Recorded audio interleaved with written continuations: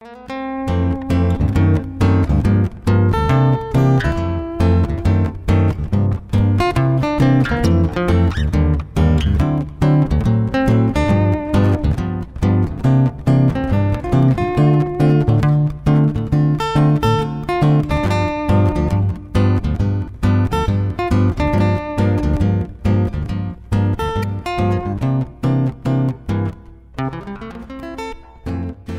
I first started out, uh, my shop was in a little two-car garage. And back then, I didn't think anything could hurt me, so I didn't really care about dust collection. We kind of ignore the risk when we're starting early out. And we tend to buy tools long before we ever think about dust collection because a really good dust collector is a pretty large investment. If you don't have a table saw, you don't really need the dust collector. So my tools just kind of grew as, an, I, as I grew and realized I really needed to do something, then I started adding dust collection. And we hope to maybe change some thinking, maybe not do the pathway that I chose and waiting a little long because I'm pretty sure that's what caused me to get bald headed and fat was, was sucking up all that dust all those years in that shop. And what we want to try to do is try to educate ourselves of why it's important that we do maybe take on dust collection earlier on in our, in our progression. I want to share some of the things that I've done that worked, some things that didn't work. And we want to learn about some things to consider when you do go out to try to buy systems. I mean, you definitely get what you pay for, but a really good size cyclone, you're talking close to $2,000. I mean, you may not ever get to that point as far as your dust, I mean, your woodworking goes. And if you do scroll sawing, you don't need a $2,000 cyclone, but I do flat work, so it finally did get to the point where I had to do something. And maybe at the end we can incorporate some tips that I've learned uh, and maybe open it up to you guys. And if it, if it starts to get a little rough, maybe y'all can help me out a little bit. I'm just one of you guys. First of all, talk about why this is important. And this really came off of Bill Pentz's sites. And one thing he stresses a lot in that is our bodies normally filter pretty well anything down to 30 microns. A human hair is about 30 microns. And the dust that you see on the floor after you get through cutting with your table saw and stuff like that, that's really not considered dust in, in their terms. That's chips. So uh, that kind of handling doesn't take a really big system. And that's really not what hurts us. What really hurts us in our bodies is 10 microns or less. And because our bodies don't really have a way to filter that, and when it gets in our lungs, our lungs don't have a way to, to flush that out. So when you take those in, it, it stays there. It's for good. Uh, large shops today, uh, EPA stays on them pretty good about uh, their levels that their employees have to breathe. So uh, they actually measure those. And their level that they're required to stay below is uh, 0.1 milligram per cubic meter of air. And I know that means nothing to you. It didn't mean anything to me when I first read it, but every 20, this kind of put it in perspective, that every 20 pounds of sawdust we create makes enough fine dust, that's the 10 micron or smaller, to cause 15,000 average size shops to fail their EPA quality test. That'll show you just how, how big a problem it can be. And uh, I pulled this quote right out of there, and I thought this kind of put it in perspective real well. It's at those exposure levels, small shop users, including hobbyists, who vent their systems inside get more fine dust exposure in a couple of hours of woodworking than most large shop workers get in months of full-time work. Since the higher the exposure, the worse the health damage, the odds of suffering serious health problems are high for small shop woodworkers unless we protect ourselves. You read that and you think, I'm to need to sell my tools. but it's not, it's not, not that bad. Uh, not far after that.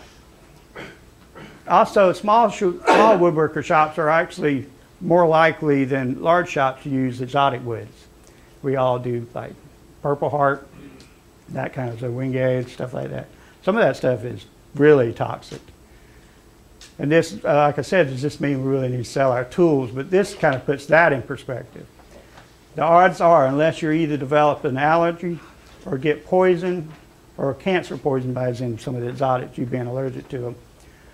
Other than occasional irritation, most can do woodworking their whole lifetimes without any apparent problems.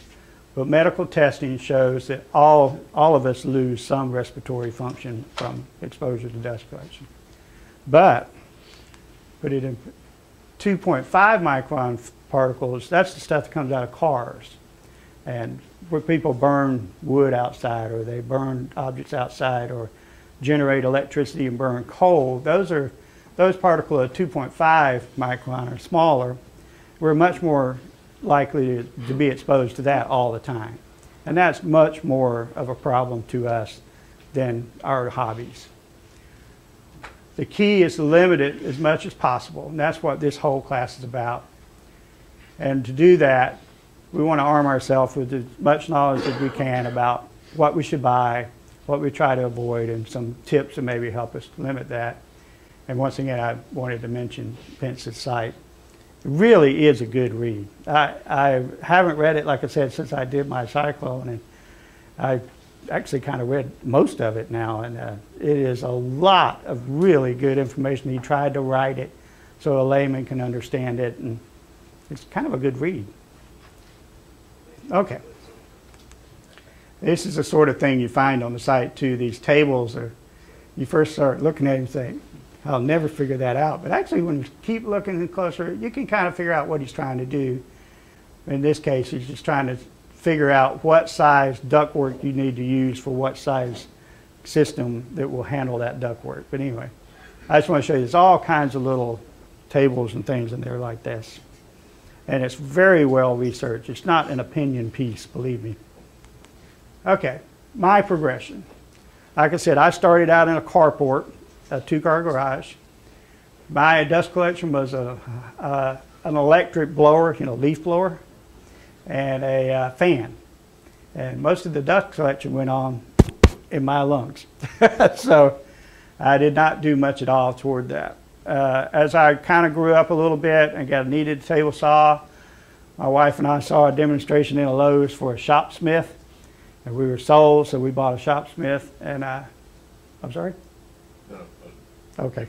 Uh, bought a Shopsmith, and I had that. And actually, the dust collection on the Shopsmith is pretty good uh, because it's actually, I'll show you later on, it's got it's designed to work with a vacuum cleaner. But the dust collection was significantly better when I went to a Shopsmith. And then as that got bigger and I decided that Shopsmith didn't make the best table saw in the world, I got a wheel table saw and found that I needed a, a, a, real dust collector too. So my first real dust collector was that jet uh, cartridge filter out there. It's about, back then it was about 400 bucks. Now it's closer to 600 bucks. Uh, I thought, this is it. I'll never need another dust collector as long as I live. Uh, and it did for a small car garage and several tools, planer, table saw, I think I had a bandsaw at that time. Does a really good job. The only problem with it, we'll discuss it some more later, but uh, it does stop up and it won't reach long distances. So when I built a 24 by 32 shop, my father came to me one day and said, I want to build you a big shop because he liked that I was doing the same hobby that he liked when he was coming up. And you know, it gets hot in my shop in the afternoon because the sun comes straight into my carport he said, well, I want to build you a shop.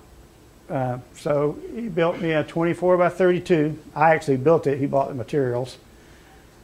And at that time, I realized that my little dust collector was not going to reach 25, 30 feet across the shop, even with any size pipe.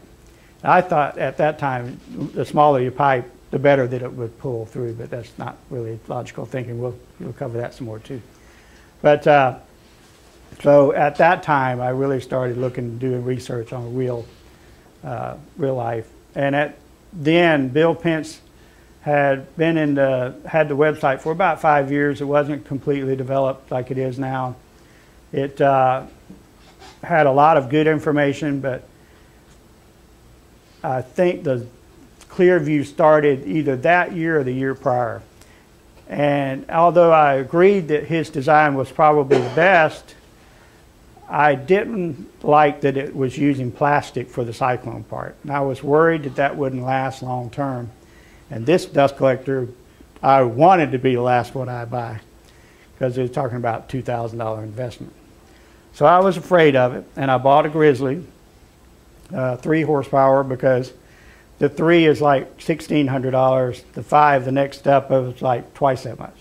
So I thought that kind of fits my budget, so that's what I ended up with. But anyway, that's that's kind of the way my progression went. Well, when you do decide to go buy your own equipment, these are some of the things you really want to consider. First thing for sure is try to buy equipment that has dust collection thought out in its design. You can buy chop saws that have absolutely nothing on them for dust collection. And you can buy a good chop saw like uh, some of these out here now, the, uh, what do you call it? Bosch out here have really good collection on them. And you don't need a big three horsepower, five horsepower cyclone to collect the dust off of them. So if you buy systems that help you collect right at the source, then it helps a lot. Of course, chop size depends a lot. Uh, like I say, if you only do scroll sawing, you don't need a big giant cyclone. You're saying like we don't need for scroll sawing, but isn't the real problem, I mean, uh, well, it's all a problem, but isn't it worse when we're all doing sanding? I would think that's worse than almost any. It is, it is. And you, you know, most people sand everything, no matter what you make. But even with sanding, though, you can make a downdraft table that works with your dust collector, and they work wonderfully. They take up a lot of room. It takes quite a fan to pull any size downdraft table. The better solutions try to get sanders that incorporate their dust collection as part of their design.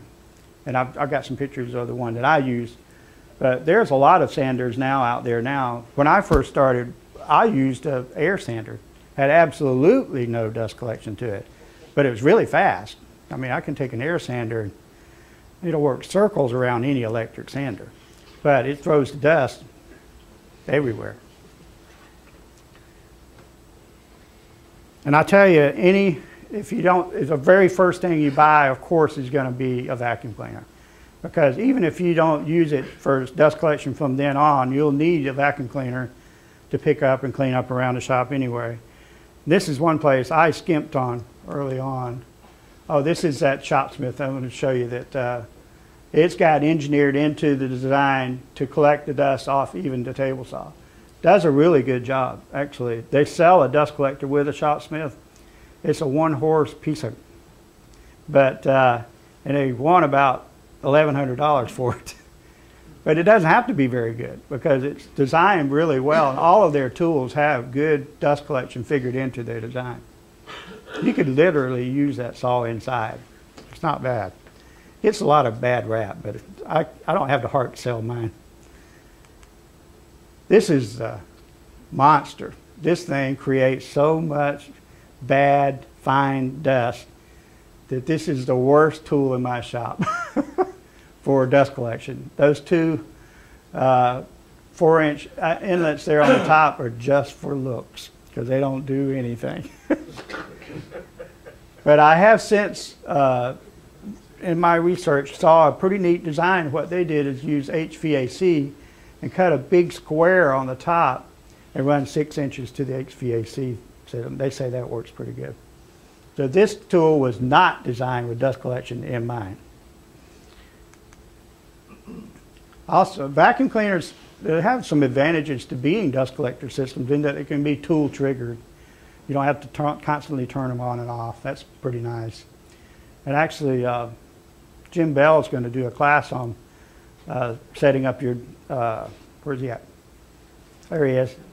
Isn't it kind of, yours, your gate will open when you turn the tool on, right? Yeah, Any, you pull any gate and the uh, dust collector motor will turn on. Right, yeah, he's going to do a class on that. And that's actually very interesting to me. Maybe it's not to a lot of us, but very interesting class to me. I, I understand those systems, but okay. They also they vacuum cleaners really offer good, good dust collect, I mean, good uh, filtering. Because you can get vacuum cleaners down to HEPA, which is 0.2, I think, micron. And uh, they do a good job of that. And you can add things like Dust Deputy and uh, stuff like that to keep from having to buy bags and filters all the time too. That's kind of fairly new in the last few years. I have some pictures of those. Of course, Festool is the gold standard of that kind of stuff, but it's probably anywhere from 400, 700 for a vacuum cleaner. That's getting up there, but they are outstanding systems. Fein is kind of a nice little, uh, little bit about as good. Most people think as good. A uh, little step down from Festool, but still fairly expensive, about 300 bucks. Uh, For a vacuum cleaner, if you have small tools, dust collectors don't do well with small tools. They specialize in really high airflow, but not that much vacuum pressure. Vacuum cleaners make good vacuum pressure, but not real lot of airflow. So they're actually designed to pull dust off of your tools, like sanders. Uh, I've got a, what do you call it, biscuit joiner, stuff like that. They do great. Routers, some of some routers, router tables, of course, but uh, their biggest limitations is they can't pull from a distance. So if your source of sawdust or dust that's coming off of your tool is of any distance at all from where you collected at the tool, then a vacuum cleaner is not going to do a very good job, even for the fine dust, especially for fine dust. I used to always think that the smaller the particle, the easier it is for the vacuum cleaner or dust collector to pick it up, but that's not the case. And it has to do with distance and the size of the particle taking effect of the vacuum. So some fine dust particles are very difficult to separate. And that's the stuff that's bad for us. But it's just a picture of a couple of the vacuum cleaners. That's Festool on the left and Fein on the right. If you have a, uh, let's say a two and a half inch hose, it's ten feet long, and you're hooking that up to separate tools, um, let's say like a drum sander, are you, are- did you say that if I were to shorten the hose halfway, I would get a better, I'd have a better vacuum system? Absolutely, absolutely. I'll show, uh, there's a slide coming up. Uh, uh, smooth wall pipe as opposed to, uh, you know, flexible pipe. A flexible pipe has four times the resistance as a smooth wall pipes. So if you were to half that flex, you're eight times better at dust collection. So, so yeah, it's, big, it's a big difference, especially with flex. And we'll talk about that when we get to the ducting part. But that's okay though. Uh, this is what I have. I got it at IWF years ago. They had a special deal. If you buy the vacuum cleaner, you get a sander. So, and it's that porter cable. It's hard to use. but this works very well. Uh, as far as changing the bag, I haven't found that it's been that big a problem. Uh, it takes about, for me, and I do a fairly good bit, about twice a year I change the bag. And I actually cheat a little bit. I put a, a, a respirator on, I go outside and dump the bag. And then I'll cut it, cut it in piece, dump it out, put it back together with those uh, office clamps, put it back in there, works fine. but uh, I'm not quite that cheap now, but I was at one time. What's the bag rated for? Uh, five micron, I believe. Yeah. Uh, works fine. And it really, the only thing I use this for in my shop is uh, my sanders. I have several sanders. This is uh, my primary shop vac, but you better have hearing protection on when you turn that on. but it really works good to suck up dust, but uh, you wouldn't want to listen to that all the time, that's for sure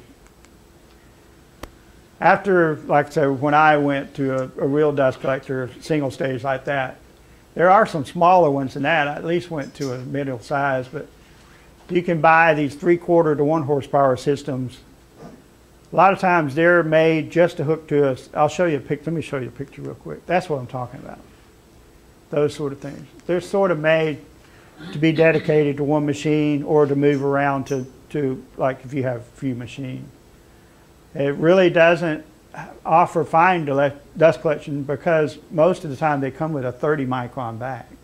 And they're really just dust pumps more than they are. They filter out all the fine dust and put it in the air. But you can buy aftermarket bags for them. Penn State sells them that go down to, I think it's point five, or one micron. They're about 80 bucks. They cost a fair amount of money. But uh, they do a pretty good job, I understand. I haven't had them. But I've seen this quite a bit lately, especially if you have a tool that's a long ways from your system or something, you don't want to keep moving your dust collector over to it. You can hang them on the wall. And it like something doesn't make a whole lot of dust, it works pretty well. Does the smaller micron, or uh, the smaller micron filtering, does that restrict your air pool? It will, it will. Of course, the, the long, it, it does create more resistance. And I tell you, those cartridge filters do a fantastic job of filtering, and they give you a, a tremendous amount of filter area for the size of the filter. The problem is, when they get stopped up, they're not so easy to, to unstop. Little tip, don't ever take one of those things off and blow it off at night and there's no wind or anything. Because the neighborhood will think aliens have landed in the neighborhood. it is amazing how much dust comes off one of those things when they stop up. So I usually wait till it's a rainy day, and during the day, and I'll go out and blow it out. I'll put a respirator on and blow it out. But you have to be gentle with those filters. They're easy to damage. You can't just turn it up to 140 psi and shoot your air hose into them because you will damage them. And they're about 300 bucks. So they're expensive. You really have to plan out your, your work. You drive yourself insane moving that thing around and around. And I did that for years. But you learn to plan your work and you can do it. It works fine. I probably wore the wheels on mine, on mine before I got rid of it. Actually, I gave it to Dad. He still got it. Uh, medium size is also often used to roll around. Mine was, I would consider medium size.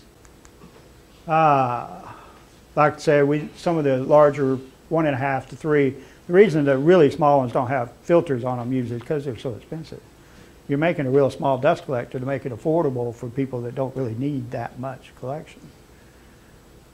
Like I said, here we go talking about, we, you have to really think about your cuts. If you're going to move it around and around, you'll soon tire of that, believe me. Also, on a single stage system, system of any size, if you suck up your table or your uh, tape measure, which like never happens, but in case it were to ever happen, uh, you can really damage that $300 filter. You can put a hole in it. And a, a filter with a hole in it is not a good thing. Yeah, and it makes a really bad noise when it hits that sucker too.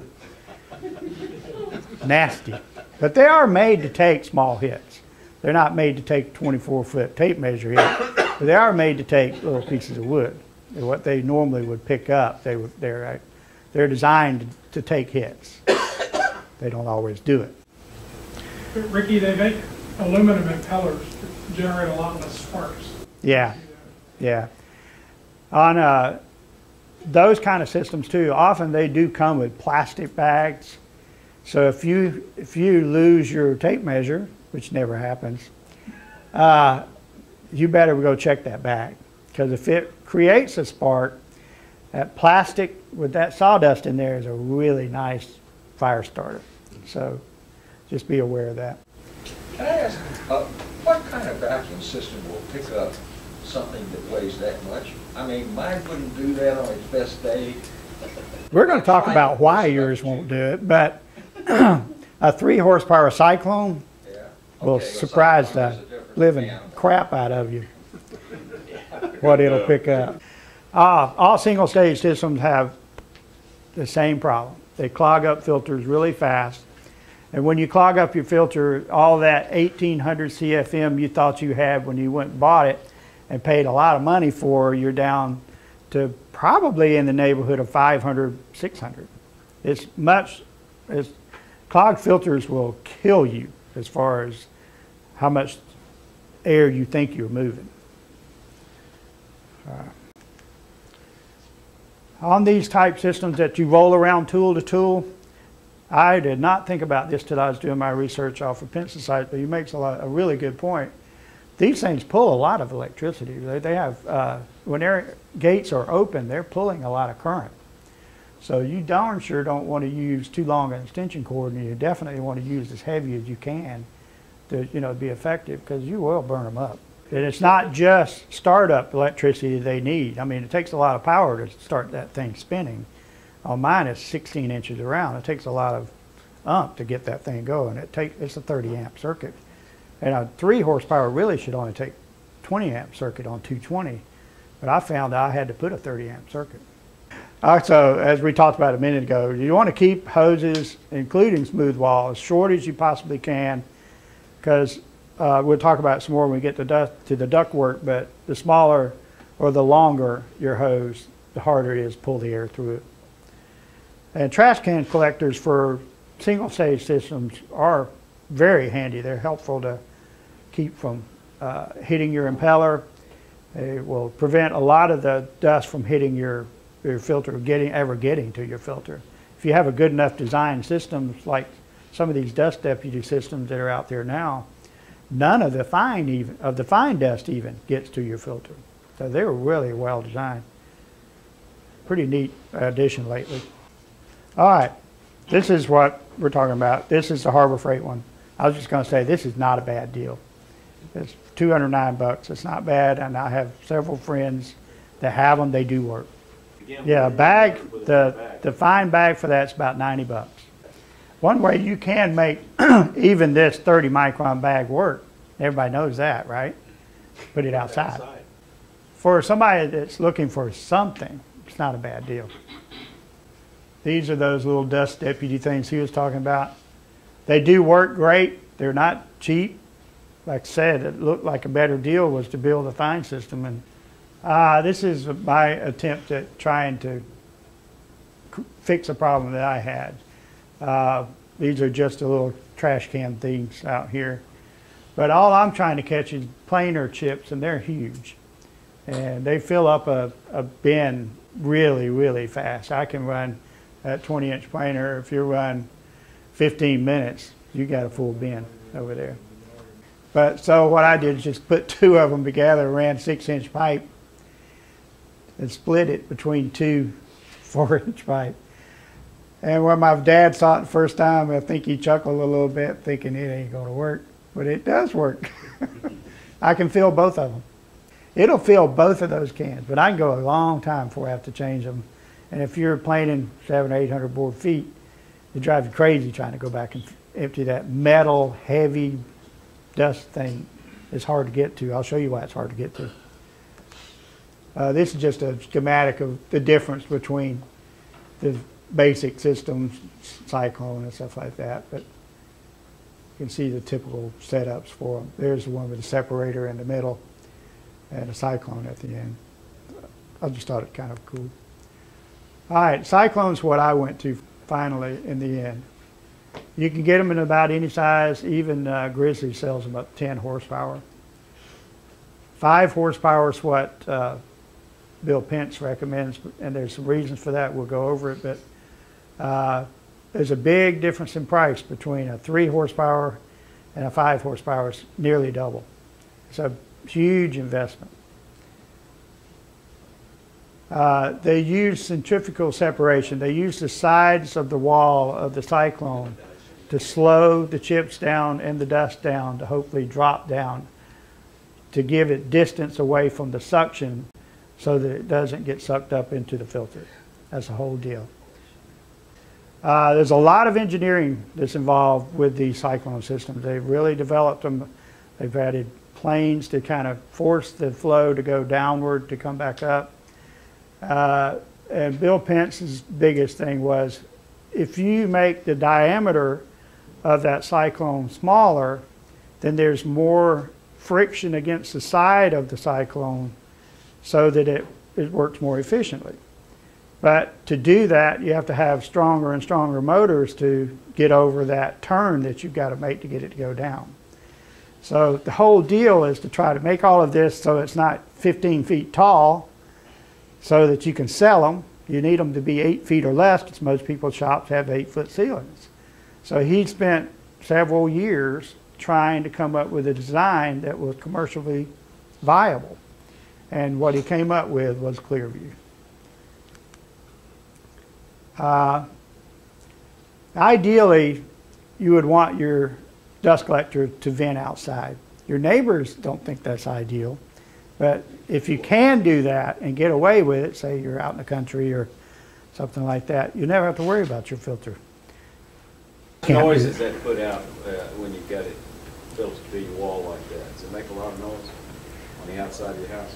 Um, I bet it would, but I wouldn't do it straight outside. I would build a baffle on the outside of the house with filters on it to kind of cut down on the noise. That's what I'm thinking about doing. In the winter, it blows all your heat out. Yeah. In the summer, it blows all your cold out. I don't care about the winter, it's the summer. I have to return into my, into my shop. Yeah, but that's what he's saying though. You don't have to worry about your shop getting cold or hot. The, uh, the return on yours is to be able to get your conditioned air back into the shop. But, Right, that's right. but am I getting the fine dust back in there too? No, not likely. Depends on your filter. Yeah. Okay. If it's Hopefully. Micron filter, yeah, the answer is yes. The other thing is if you vent outside and you have gas appliances, you need to be very careful. Right. about Sucking a vacuum in your basement and filling the house with CO. Right, exactly, yeah. They're well suited for static setups and longer distance runs because they don't have the typical drop off in air handling that, that a one, a single stage system. Not as bad. They go a lot longer without stopping up your filter. They will still have drop off though if your filter stops up. My Grizzly three horsepower, I will tell you my experiences with it. I do get quite a bit of fine dust in my shop. Uh, I don't believe it's as efficient as the cyclone systems that ClearVue has. I have seen those systems. They go a long time with never having a filter problem. Mine does have some, I do, if I use the drum sander, like I said, for a very long time at all, it will stop that filter up. I'll have to, I can go over, it has a setup on it where if you pull the, the cord, it has a brush that goes down and knocks it off into the collector bag at the bottom. That works to get you going again. But eventually, you have to do something about getting it out of there. In my case, I'll just, about once every year, once every two years even. I went a couple years this last time. You may have to take it off and actually blow it out. But you have to be careful doing that. Like I said before, you can't hit these things really hard. You got to be pretty gentle with them. The best thing to do is take a brush and try to loosen it up best you can, blow it out, or take a vacuum cleaner with a little uh, brush. I did this last time. It worked better to take a little bristle vacuum cleaner and try to clean it off. You have to be careful with them though. The other bad thing about, oh, it's plenty strong enough for chip collection at about any distance. It gets my router table beautifully, and it's a good 30 feet away with six inch ductwork. It's very noisy. I will say that was the big difference from that to the Cyclone. The first time I cranked it up, I thought, whoa, that's loud. that's really loud. But then I thought, well, I do wear hearing protection. I don't, I have hearing aids in right now. I don't hear very good, and I don't want to lose any more than what I've already lost. So I wear hearing protection a lot in the shop, especially with the radial arm, uh, table saw planer. Those are loud anyway. So it's not such a big deal. Like I said before, though, my problem though is the radial arm is I make single cuts a lot. I hate to crank that thing up just for a single cut, but radial arm throws out some pretty fine dust. So I'm, I'm working on that. That's the reason I have my shop vac right beside my radio. I think that I think that's the best solution. I believe that And it's dedicated to that piece of equipment. right that uh, collector can that I have for my radial arm can't be 10 feet from the cyclone. It still don't catch everything. What kind of hearing protector you use? Use- I use the little muffs, and I got a whole box of those little phone things. Hans gave them to me. I've been really good about using those, by the way. So is everybody that comes in my shop. But uh, they work. I mean, they work great. You don't have to filter all of the sound out. You just have to knock it down to where it's not hurting your hearing. This is a picture of a new one, like I've got. Mine does not look like that. But I didn't buy the uh, stand for mine. I attached it to the wall, even though they said not to do that. I didn't find that was a problem. 'Cause I, I didn't want to spend the money for the stand. Back then, it was a, an accessory. I was trying to keep it as cheap as I could, but get good dust collection. This is uh, twenty-five fifty for the five horse. Big difference in price, going from sixteen fifty now with the stand and everything to twenty-five fifty. That's a big, big jump. This is mine. the bins of drawers there came from a hospital that they were closing, and I thought, God, these things make. I bought a bunch of those things, and I roll. They're on rollers, and I roll it in front of it, and it kind of cuts down on the noise a little bit. it's not perfect, I admit, but uh, I really need to box it in like George has. George Yeah. has a great setup. And uh, so does uh, Rob. You need to box these systems Yeah, closet, but you have to have, it be able to suck in ambient air. yeah. So you have to have a filter opening in your closet, but it will cut the noise down soon. Yeah, I, I should do that. I just haven't done it yet. You can see I haven't even closed off the wiring at the top of the thing. I, I don't know. I got got the shop finished and kind of quit. Ricky, on yours, you said that you do use that 20-inch planer a lot. Mm -hmm. When, do, uh, when I, I have a 15-inch planer, and when I hook up my Cyclone to it, the planer is very loud. It's, it's way louder than the Cyclone. Yeah, pulling so much air But against when- those blades. Hook them together, it just, it just doubles. It gets so loud. And, and that's the only thing I wear my earmuffs for. Oh, really? So. Like I say, he recommends five horsepower for good fine dust collection. There's a reason for that. It's it's very difficult to capture at a distance those really fine particles. Like I said, we mentioned it needs to be a narrow body. 16 inches is what he recommends. An outside exhaust, like you said, is, is ideal, but you can't, can't always do that.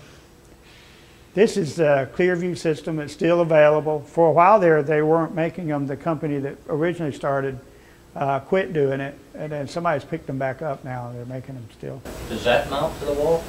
Uh, yes, it does. Brackets at the top. Yeah, it mounts to the wall. Uh, if I were to do it over again, that's not a big difference in price to the Grizzly 3 now.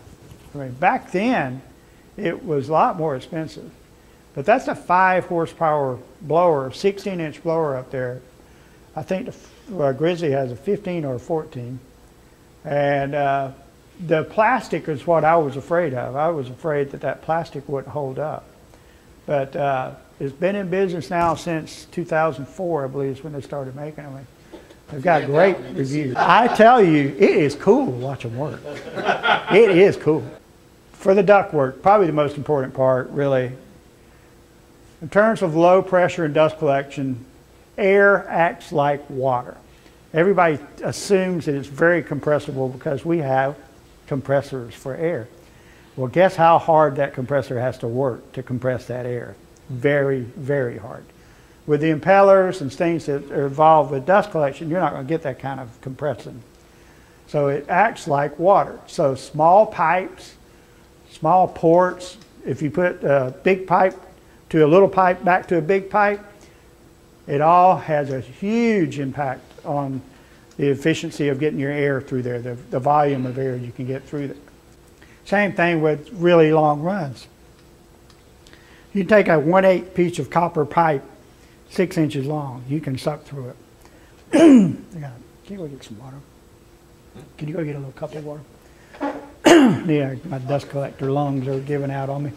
Uh, so take a 10 foot piece of 1 8 inch copper and try to suck on it, you can't get crap through it. Uh, so a longer hose, you want to keep your runs as long as short as you can.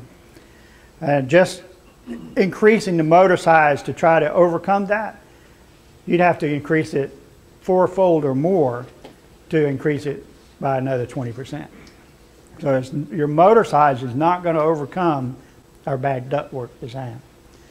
To get fine dust collection, their research, and believe me, they have researched the heck out of it, shows that you really need anywhere from 800 to 1,000 cubic feet per minute, depending on the tool, at the source to get fine dust collection. To do that, you really, with a reasonable sized dust collector, you really need to go with six inch pipe. Nobody likes to do it. I didn't want to do it. It's ugly. It's very expensive. I spent at least $650, $700 on the pipe work for my, about died because I just spent nearly $2,000 on a dust collector. My wife has patience, but she has her limitations. so $600 for six inch ductwork is not a small investment. This was a good quote. I, I, I'm sorry it's such a long quote, but I just thought it kind of captured everything we needed. A one and a half horsepower dust collector can move a maximum of 1,100 cubic feet per minute, far less air than the maximum depending on what size the duct we use. In other words, when you add the ductwork to it, that's going to go down. This also don't. This is a brand new. Filters wide open. Okay. The typical shop dust collector blower generates four to six inches of pressure. With adding overhead of filter, minimum ducting, the pressure only is able to move about 800 cubic feet per minute when it's hooked up to a piece of six inch flexible hose. That pressure will only pull about 550 cubic feet per minute when you go to five inch hose. And that same piece of equipment set up would go down to 350 when hooked up to four inches of hose. So you're not getting 1,100 feet when you go buy that one and a half horsepower dust collector. You're getting a fraction, a small fraction of it. So most of us in this room, including myself, don't have the best fine dust collection. And I've got $2,000 invested. So, all right. But we could do the best we can do. So how do we design our ductwork to try to maximize what we do have? Keep the pipe as large as possible to as close to the machine as possible. In my case, I, I went with six inch, and that's a good, a good choice because there's, uh, we'll cover it later probably again, there's sewer pipe, uh, sewer and drain style six inch PVC is reasonable. It, I did not find that the fittings for that type pipe were any cheaper than PVC, the typical fittings, and the availability of, of uh, options in PVC was just so much better. I have a supply house near me that has that sewer and drain pipe much cheaper than Lowe's and Home Depot. I think a 20 foot sec- or a 10 foot, I forgot how long it was. Was nearly half what it was at Home Depot. But the fittings were about the same price. And Lowe's and Home Depot have more options in the fittings. Even a supply house does not carry a six to six to four inch uh, fitting. So I ended up getting all of my fittings at Lowe's and Home Depot. Uh, you want to use sweeping turns instead of using a T. You want to use a fitting that has an angle off going in the direction that you want to go. Because when you have to make air make those sharp turns, it doesn't do it very efficiently. So you want to try to keep those sweeps as long as possible. You can actually bend six inch sewer drain pipe it's not extremely safe to do because it puts off a gas that you don't want to breathe. But you can do it with a heat gun and make slight bends in it pretty easily. I've seen a lot of people do that, but I, I didn't do that. you want to use smooth interior flex pipe if you do use flex pipe, and you want to use as little as possible of flax. Oh, and I skipped one too. The gates, you don't want to go into a six inch pipe and put a four inch gate if you can avoid it. Even if your machine, some machines you can change them to five to six inch rather than four, but some you can't. In my case, the sander, the horizontal sander, and the joiner, I couldn't really change it. so you lose a lot when you go to a smaller. Uh, I wanted to show the the uh, fittings too. Uh, this is this is uh, the fittings I went with. These came from Grizzly. I just want to mention there is a direction to these fittings too. I may cover this later, but your dust collector wants to be, you want to put the dust collector on this side with the screw on that side because the gate, when it's closed and you push the screw, pushes the gate against the, so it makes a better seal. I didn't know that till I read that. Luckily, I had it right. oh, most of it ended up, you can swap. 50-50 chance. Huh? Yeah. Well, I- you would have thought I got some of them wrong. The only thing I had, one of them wrong. But you can swap the screw around the other side too. I didn't have to change anything, but The suction will work for you too. yeah. But I thought that's pretty interesting. I, when I first started, I had everything run off of this type gate. And they are right. When you use these for a while, it gets dust built up in the bottom down there. You can't close them. That's, that can be easily fixed. I just cut it out. No, you just cut the corners Corners off. off. Corners. Oh, cut the corners off. That's a good idea. Yeah. So there sticks out about maybe an eighth of an inch. Really? Works fine, you never get any more dust. Oh, really? I threw mine away. I'm like, God, I'm tired of dealing with them. So I went, you know, the all, all the clean out style. That's what these are called, clean up, clean out style, because they, when you move them, it pushes any dust that might have collected there out of the way. These clamps, they were recommended. I did go to these when I first started doing mine, because on flexible six inch, it's not the easiest thing in the world to clamp it to a to a fitting or a pipe or whatever. So you need a fair amount of pressure. And if you do a regular clamp, it pulls up a, a corner of the pipe so that there's a, a gap every time. But these are kind of neat. They follow the curvature of the wiring on the inside of the pipe. They seal up. They have one disadvantage. But Rod told me how to fix this, and I, I didn't think about that. They don't want to fit on the on the gate that well because they don't. But these are really designed to have a little piece of pipe come off or a fitting there and then put it on there. I didn't think about that. That makes sense. But anyway, pretty neat. See, when you teach these classes, you learn stuff. I promise you. Oh, to hang your pipe. Oh, thanks. Uh, to hang your pipe, I tried a lot of different things, tried wire and stuff like that. What I found that worked the easiest was those long 36 inch uh, wire ties. And uh, you can have some adjustment if you use them right. You can adjust them up and down with the with the connection like that. That worked really well. I got some pictures to show of that. Leaks add up. This is especially important for six inch pipe because there's a lot of fittings in my case. I'll show you what I mean. But uh, you can seal those up, that aluminum HVAC tape works beautifully. I haven't done that on mine. I need to. Don't use duct tape. All right, here's, y'all don't, don't look how dirty it is. It is dirty up there. It's been there 12 years, so. All right, Ricky, uh, that, my point was, uh, don't use duct tape because it will deteriorate, you know. oh, yeah, really?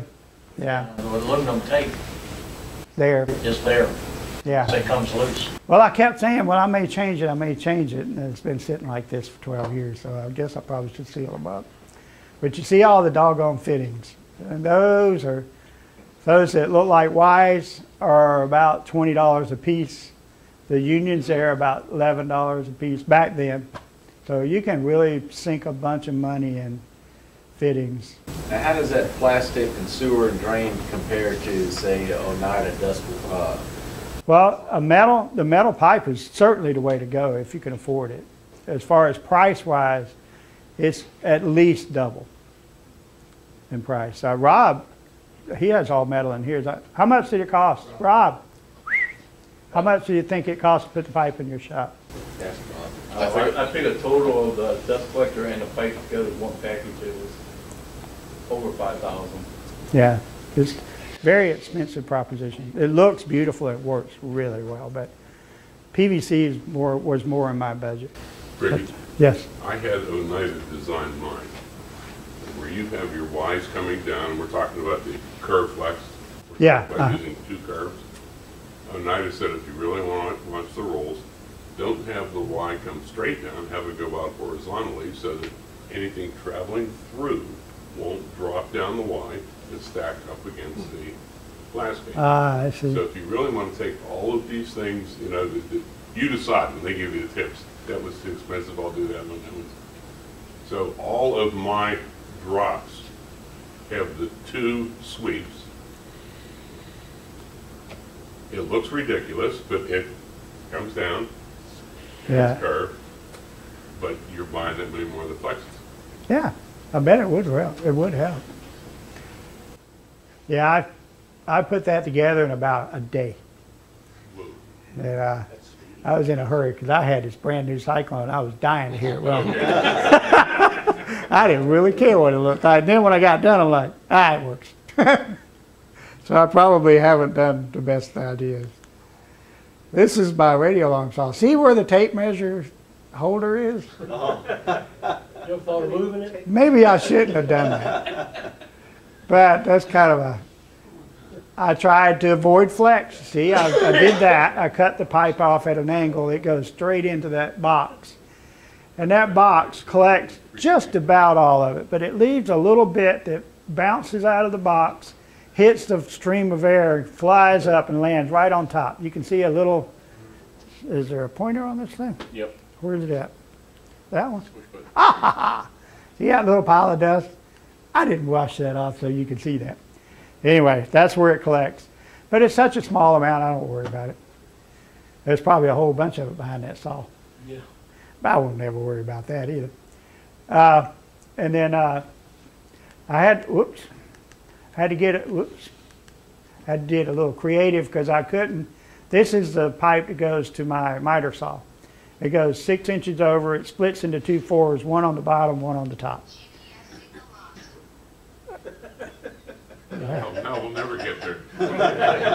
anyway, uh, so I couldn't reach the darn thing, and I couldn't use a clean out style because uh, the wall's right there. So I just used the other style. And this is my gun cleaning rod. yeah, that's pretty interesting. Anyway, all right. On, uh, on grounding your ductwork. According to the website, there's never been an instance where a home shop has ever caught fire exploded from dust collection ductwork. Everybody thinks it should happen. It does happen in commercial environment because they move a lot more material. Two main places to get fired. First place, if you put a small gate on a big pipe, guess where right behind where that gate is is going to be a collection of dust right there. And if you put it on your table saw, everybody knows we never hit nails with table saws. But in case it were to ever happen, there's a really ready, ready, available source of starting that fire right there at the gate. So that's the one place you want to avoid. The other place is, like I said before, if you send something through the cyclone and it hits, in my case, it's steel, it's not aluminum, it's a steel impeller, and something metal hits that steel impeller, there, guess what's right below there? That's another source of fuel for the fire for your shop. Overnight, it might simmer a long time. It might eventually get hot enough that it actually go.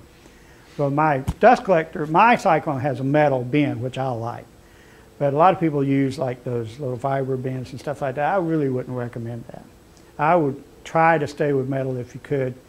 I've never seen either of those things happen, but I understand they can. But you're right, though. It's really about explosion. But there's never been a reported explosion in a home shop. But if you want to live, use my horizontal sander and touch that pipe. After you've been using it for a little while, it'll jumpstart your heart. if you think you're having a heart attack, that's what you want to do. Just run over there and grab that pipe right quick. It'll shock the living crap out of you. So if you want to avoid that, yeah, you need to ground that pipe. Yeah, and yeah, planer's another good one. Boy, oh boy, you want to live. That's a good one. Because it's got a lot of chips going through it. That chips create. I just grounded it against that. So far, I've not had any problem with it. So just put a self-tap screw somewhere in there and ground it against that. Uh, you don't just ground it one place, by the way, too. It'll build up. It doesn't carry current that well, so you want to ground it where, where your worst culprits are. You'll know them. They'll tell you. and this is uh, looked extremely like SketchUp. So that's as far as I'm going to go. but I think this is a SketchUp drawing of a typical shop design. See, you want to use those sweeping turns. Like you said, the horizontal Ys too. And the drops and everything. For drops, uh, you need This doesn't mean anything to me, and I'm sure it won't to you. You need 4,000 linear feet per minute, or linear feet per minute, I guess, in order to pull horizontally that distance. So that's what they use to measure that. But I, I don't know how in the world you'd ever measure that. You know, elbows on the wall. They got elbows going down. Huh? They got elbows going down over the wall. Yeah, yeah, they do. They sure do. I guess they're probably sweeping turns. I don't know. Anyway, uh, just I things I ran into. Six inch flex will just fit inside of PVC connections because it's six inches on the outside. So you can get it in there and then you just tape it. It works pretty well. Sewer pipe can made to be go inside a six inch flex if you cut slots into it. If you cut enough of them, you can do it without it. But I ended up usually making a piece of connector pipe by cutting sections out of it because the slots really tight, hard to get it on there. But if you cut a little tiny section out of it on your bandsaw and then tape it together with tape, then it works like a, a connector for flex for the inside. Uh, cleanup style gates we already talked about. They have a direction, and we already mentioned HVAC fittings. This is what I was talking about with the slots. That does work, but it's really tight. And you got to make the slots longer than that. And then the sewer fits inside the flex. This is at the back of my router table. That's what it looks like. I use HVAC fitting. It was a five inch opening that I had the ability to use. I couldn't use six inch because my little box, I didn't design it very well. Uh, so five inch was as big as I could go, so I found a five to six HVAC connector. Uh, uh, six by six wires. Those those wires, there's lots of those around in the shop. I ended up having to use them a lot. And I just wanted to point out that I got my gate in the right direction. I don't know how I did it. Maybe I knew that and didn't realize it. I don't know. Any ideas? Anybody want to add anything? Do you have an air filtration unit hanging from the ceiling? I do not. In order to be perfect for fine dust collection, you talk about a huge investment. And I don't think you ever get there. On those uh, overhead dust, or overhead filters, uh, I use one in my shop, and we- we've got one down at the end of Rob's that will, will turn on for a couple of hours uh, before you start applying finish to something. It makes a significant difference in the, the uh, difference on the. Might even be a good idea to stir it up while it's running a little bit, so it kind of, Even, even if you don't need that to be pulling dust out of the air, it's a good source of moving air around the shop. Yeah. You just so it doesn't collect on top of the pipes of the dust collector. Anybody else? Well, when I was in my, my garage, I didn't know it was so dangerous. I just assumed that our bodies take care of it. So, I mean, knowledge is key. I mean, even if you don't ever get a hundred percent fine collection or whatever, at least you know about it. So maybe you do those things that you need to do. Maybe if it's a nice day out, you do open the garage door and turn the fan on it. Sand outside. Or, or, you know, I wish there was a way to turn it out so that I had the choice of either venting outside or venting in the shop. But I don't have that set up. But anyway, that it? Thanks, guys.